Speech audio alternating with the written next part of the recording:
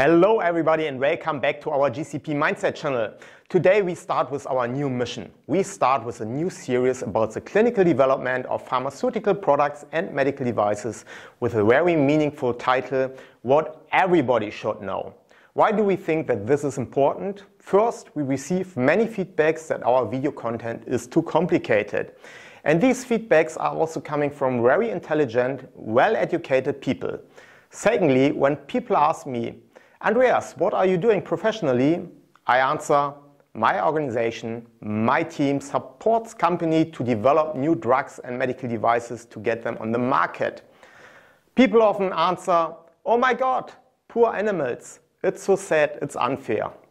When I explain to them, no, we don't do studies on animals, they are extremely surprised that we love to conduct clinical studies in humans. It shows that most people have no clue about the development of these important products. And let's be honest, everybody, really everybody will use pharmaceutical products and medical devices during their lifetime. They are part of our life. They are similar to foods. But we don't learn at school and even medical professionals don't learn at universities how these products are developed. During COVID, maybe few people are more interested in this topic. But actually, COVID should not be the reason for this interest. Therefore, it's our mission to explain the basics of the development steps to everybody who shows interest. My charming co-workers, Kelsey and Carol, will lead you through the video series in a way even laymen should understand the content.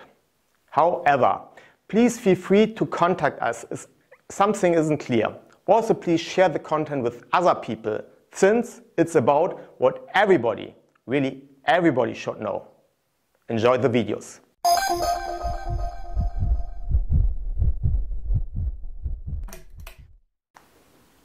Hi, it's Kelsey and Carol. Hi everyone, my name is Carol Lazovic. I was born and raised in Kenya, from where I moved to Scotland where I started my clinical research journey. I'm currently here as remote monitoring manager and product safety. I will be taking you through a series of clinical trials of medicinal products, starting with our introduction of clinical trials. Thereafter, I'll walk you through why and how they're conducted. Hi, my name is Kelsey Crossman. I was born and raised in the United States of America, in the state of Florida. I'm a trial master file manager. I'm here to share a general introduction about the clinical development of medical devices. Over a series of videos, I will provide examples, explain the applicable laws and directives, different device classes, and the respective phases of medical devices. So let's get started. Hi everyone, I will be taking you through the clinical trials of medicinal products. So let's begin with the definition of clinical trial. A Clinical trial is the investigation of the influence of medicinal product on the course of a disease in humans, but in a controlled experimental environment. Why do we conduct them? We are investigating the safety and efficacy of the medicinal product with the overall goal of treatment of a disease. So now you know the definition of a clinical trial. I'll now take you through the basic setting of a clinical study. So first we have the sponsor, who's responsible for the preservation of patient well-being, the patient's rights, study data integrity, and the data quality. The sponsor can be a pharmaceutical, a biotech, medical device company, or even a single university, but the responsibility stays the same. Most sponsors will use contract research organizations, better known in the industry as a CRO. Another important component of a clinical trial are the study sites.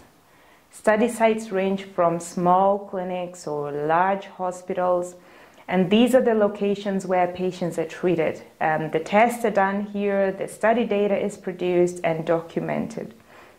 At the study sites, we have a wide selection of study staff. We have principal investigator, the sub investigator, study nurses, study coordinators, the list goes on. We have pharmacists, we have lab technicians.